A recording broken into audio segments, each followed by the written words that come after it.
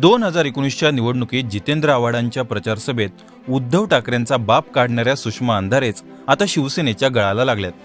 शिवसेनेत माझ्या लढवय्या साथी आल्याचं म्हणत त्यांनी अंधारेंचं पक्षात जोरदार स्वागतही केलं. उठता बसता हिंदुत्वाचा जय जयकार करणाऱ्या शिवसेना प्रमुख उद्धव ठाकरेंचं हिंदुत्व हे शेंडी जाणव्याचं हिंदुत्व नाही असं म्हणून माझ्यासारखी पुरोगामी विचारांची बाई शिवसेनेत आली असल्याचं सुषमा यांनी पक्षप्रवेशावेळी सांगितलं.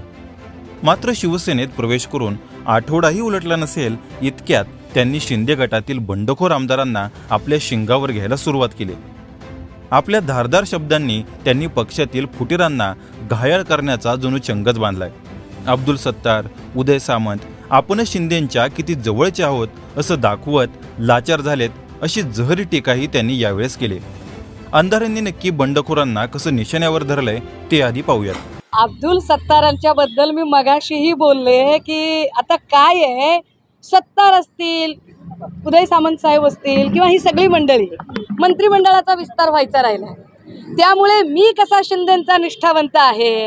हा मी कसा जास्त प्रामाणिक आहे? हे दाखवायचं असेल तर मला कसं त्यांनी डोळ्याखाली धरलेलं आहे हे त्यांना दाखवणं गरजेचं आहे आणि त्यामुळे मी शिंदेच्या जवळचं आहे आणि मी उद्धवजींच्या पासून फार लांब गेलेलो आहे हे सिद्ध करण्यासाठी स्वतःचं प्रामाणिकपणा सिद्ध करण्यासाठी म्हणून ज्या पद्धतीने या सगळ्या लोकांची एक रस्सीखेच चालली एक शर्यत चाललेली आहे ती अत्यंत किळसवाणी आहे ती त्यांची लाचारी दाखवणारी गोष्ट आहे हल्ल्याला हल्ल्याने उत्तर म्हणताय. ते जेव्हा हल्ल्याला हल्ल्याने उत्तर देऊ म्हणतात तेव्हा त्यांना हे लक्षात आलं पाहिजे की ते ज्या कुठल्या शाळेत शिकलेले असतील त्या शाळेचे संस्थापक मेंबर इथेच होते. त्यामुळे फार त्यांनी उड्या मारायची गरज नाही आणि हल्लेच करायचे असतील तर लोकशाहीतनं हल्ले करा फारच हल्ले करायची खुमखुमी असेल.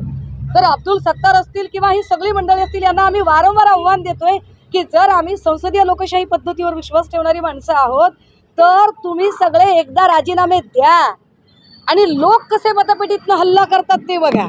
अशा प्रकारे सुषमा अंधारे यांनी शिंदे गटातील आमदारांवर आता टीकास्त्र सोडलेत.